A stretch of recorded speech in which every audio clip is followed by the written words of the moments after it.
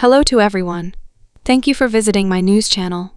Before I begin with my video, I would want to share with you a film on Holland Skilla. Please remember to subscribe if you enjoy what I'm doing, comment and hit the like button. Thank you very much. Let's go on.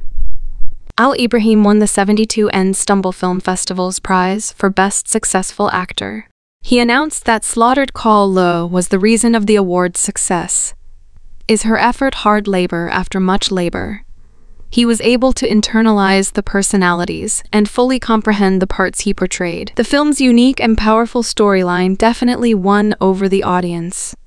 Ceyhan said in his interviews. The prize he presented the true objective or meant that he and his pals were recognized for their efforts, he said, adding that the reason he decided to give it to Sıla Türkoğlu was because he likes Lek.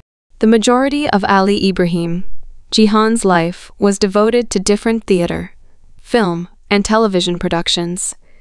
He was known for his versatility and the most various parts he portrayed in these productions. He claimed that, in a way, receiving this prize was a reward for the success of his acting career.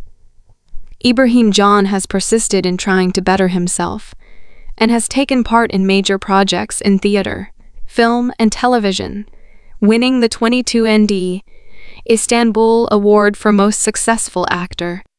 The fact that his crew has won awards at a film festival shows that they are his pals. She also shown her confidence in and readiness to help her buddy by bestowing the prize on Sıla Türkoğlu. I sincerely appreciate you viewing my video. Until the next video, take care. Goodbye and take care.